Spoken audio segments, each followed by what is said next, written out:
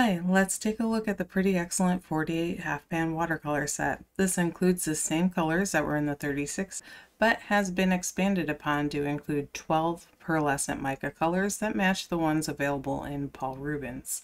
I'll swatch these out, do some paintings with them, and talk about light fast problems, mainly regarding orange, reds, and purples that are fugitive due to being enhanced with fluorescent dyes. There are definitely misleading light-fast ratings on the color chart. Nearly every color has been lazily rated at the same 4 of 5 stars regardless of pigment, which is really inaccurate when comparing staple colors like earth browns and black with the performance of fluorescent pinks and purples.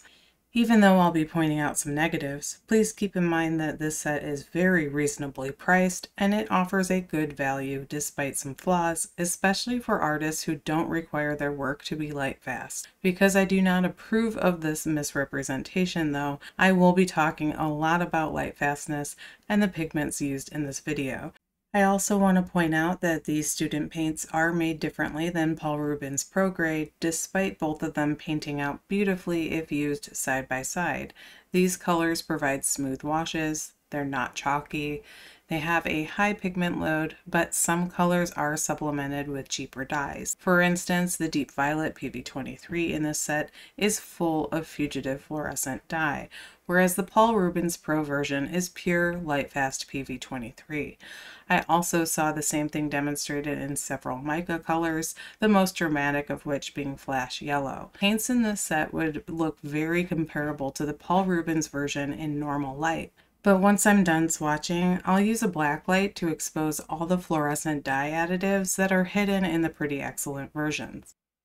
Some binder changes and dye additives result in these being a step down in quality and price from Paul Rubens Pro paints, and they also cut cost by using less packaging. There's no individual wrappers or plastic pans. The paints are just glued into an ice cube style flexible tray. The colors are not sold individually to replace, but a good portion of these are standard pigments that you can replace as needed with other brands. The color selection skips more expensive pigments that you'd find in pro paints, lacking colors like nickel azo yellow, a pure magenta PR122, cobalts, or cadmiums. The cadmium red and orange colors should include the word hue in the name, since these are lookalikes and not made with genuine cadmium pigment. Otherwise, the color selection does offer a nice variety, and the set comes in a durable tin with a water brush. The reflective mica colors are slightly harder to re-wet, but this is helped by letting them soak for a minute with a drop of water. All of the colors disperse and blend in a smooth, predictable way. This set is ideal for projects where fading is not a concern, such as greeting cards, painting in sketchbooks, or practicing painting techniques without fear of wasting more expensive materials. There are enough light fast colors in this set that I still think it's a great deal for any artist, since about two-thirds of this set is suitable for long-term wall display or art for sale professional artists who sell prints or stickers, where the art created is scanned for print reproduction rather than for hanging original paintings on the wall, may also appreciate this bargain set as a whole. For the last couple years, the Pretty Excellent 36 color set has been one of the top recommended beginner paint sets available. It's reasonably priced for the quality. There's very few alternatives that perform this well for this cheap, breaking down to roughly 50 or 60 cents per half pan depending on the sale. This set provides a large assortment of colors, great for allowing beginners to learn which colors they'll reach for most often. This set is almost entirely made of smooth, non-granulating paints of a mostly transparent nature aside from the pearlescent ones. There are many bright colors, but they can easily be toned down into a more muted selection by mixing them with their color wheel complements to create neutral or shadow colors. Like most pan set assortments, the lack of granulating pigments means most of these are staining and good for layering. Aside from mixtures with PB29 ultramarine blue, there will be very little in the way of texture or color separating two-tone effects. My set had a duplicate bronze instead of a royal gold, which is a bummer since gold is such a useful accent color that goes with just about anything. I noticed that several other reviewers did get the right color, so this was probably a mistake that doesn't happen often, but I mention it just in case. If you order this on Amazon, it's easy to return, but it would be disappointing if you got this on AliExpress and it wasn't as easy to get a replacement. For those of you in the USA, I'll put a link to this set on Amazon in the description under the video. The 36 standard colors are the same as the older set, but there have been a few name changes while keeping the same number ID, and one of the reds and a purple have had an increase in fluorescent dye, making them appear slightly brighter or more reddish than before. If you already own the previous set, the only new additions are the 12 mica colors. If you have the Paul Rubens mica colors, then there's nothing new to see here aside from some hidden dyes.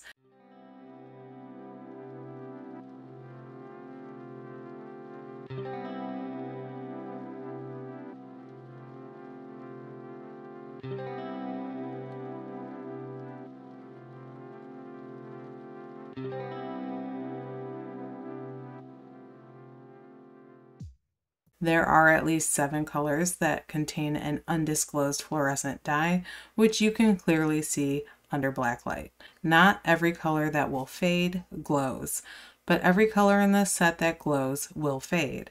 So inspecting them under black light can help you immediately identify some fugitive colors without having to wait a couple months for the results of a window light fast test.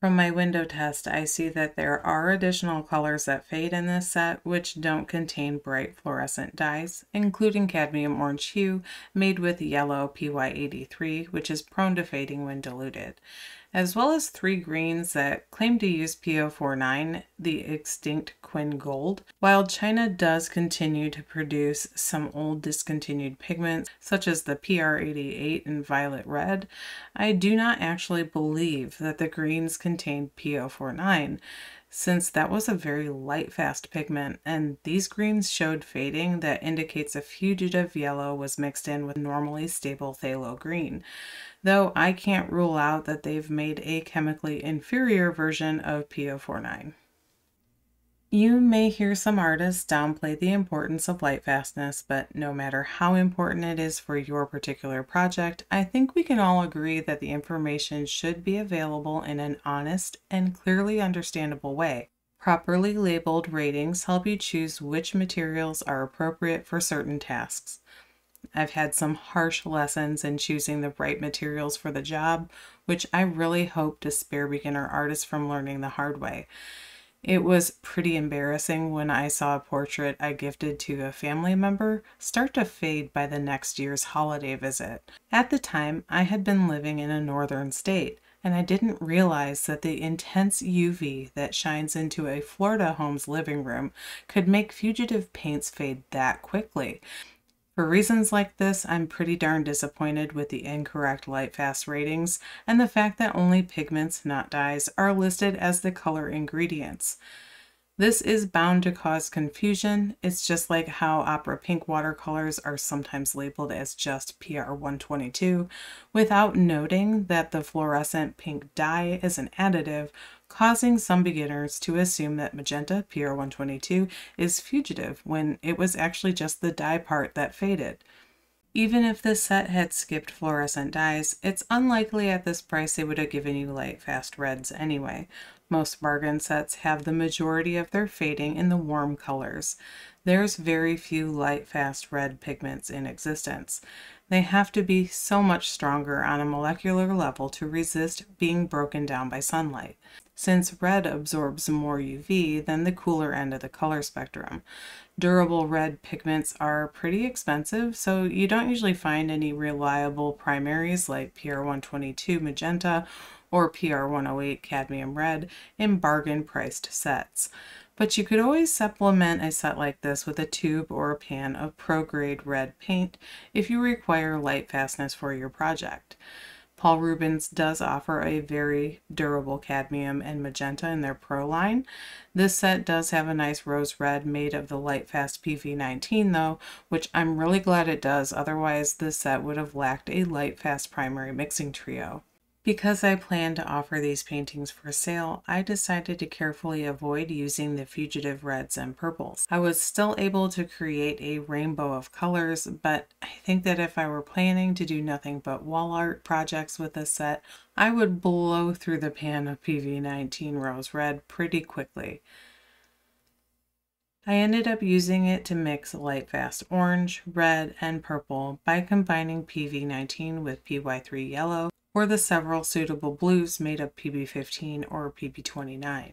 There are other quality stable colors in this set, including six shades of light fast browns, which could be used for skin tones or landscapes. For beginner watercolor painters, this is a great budget-friendly set to start with if you're just practicing washes, gradient blending, layering, or even experimenting with fun texture effects, such as using table salt like I did on the unicorn. Since most of the colors are transparent, they will be suitable for most watercolor techniques and result in clean, vibrant color mixtures. I can only think of one other set in this price range that really competes with it, and that's the Miya Himi set with the neat diamond or rhombus shaped pans. But they don't offer metallic colors and also have some fading in their reds, which I'll review in a future video. Some artists have told me that they prefer to use cheap art supplies for practice instead of using up more costly paints. I can understand feeling hesitant to experiment with expensive supplies. Only owning professional supplies might hinder artistic progress out of fear of wasting paint. I can see the value of bargain sets like this despite their quirks, even if it's just for my sketchbook. For the most part, though, I will not commit to time-intensive paintings unless I'm using more reliable art supplies. I may use these when doing color combination studies. The variety of colors would be good for making mock-up color schemes for paintings that I would complete with different light-fast pigments. Let me know in the comments section how you feel about this set and what you would use it for. If you'd like to see more, you can find all of my detailed swatch card images, results from my independent Lightfast testing, and other art supply reviews on my website.